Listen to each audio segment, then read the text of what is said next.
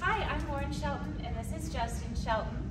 And we have dogs Luna and Bear. Ivory trained Luna, and Solomon trained Bear.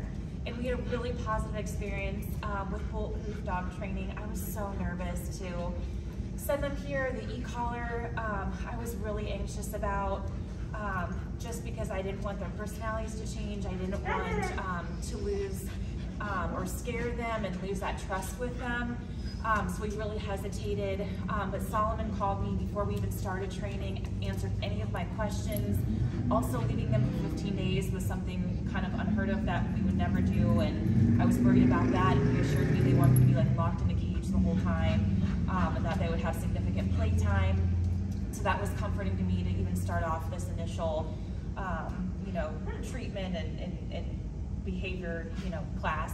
So um, we dropped them off. It was super easy. And then um, every day too, I loved getting texts and pictures. I could text them. They could, you know, directly tell me what's going on, what they're working on. They would do videos and send me updates.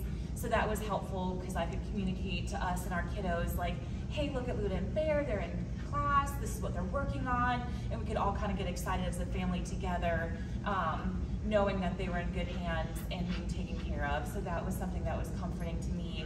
I just didn't feel like I just lost touch with them for 15 days. I felt like I was kind of right there with them as much as possible.